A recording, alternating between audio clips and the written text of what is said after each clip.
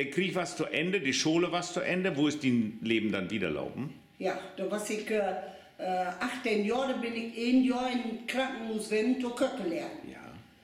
Und, äh, Wo warst, wo warst das? In Büren. Ja. In Büren. Ach so, da in war Büren, auch noch ja, Krankenhaus ja. da.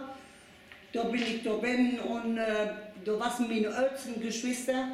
Die älteste Schwester war halt er, die war halt und die anderen zwei, die, die sind dort. Mhm. Ja, und da war es wieder entstuft in Huse, dass wir dann äh, Nuse mithelfen musst. die Verarbeit, ja, die Arbeit äh, machen mussten, mit Melken und alles. Ne? Ja. Habt ihr zu dann noch einen Knecht oder eine Magd hat oder habt ihr alles von der Familie gemacht? Nee, du wird das, äh, wird das von der Familie gemacht. Ja. Und wie viel Jahr bist du dann in Huse, wenn?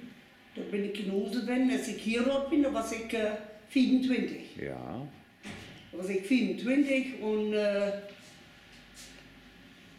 und, und da bin ich hier bei Brelos 60 habe ich die Kneipe dann übernommen hier. Ja.